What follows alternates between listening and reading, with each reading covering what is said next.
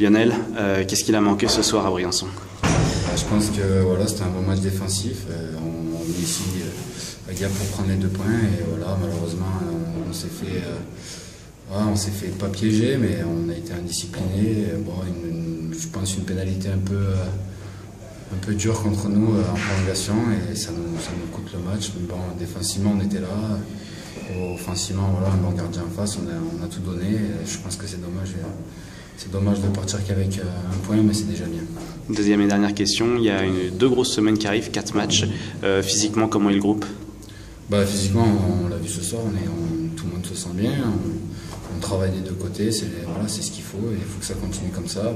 bah, quatre matchs, tant mieux pour nous. C'est euh, le rythme.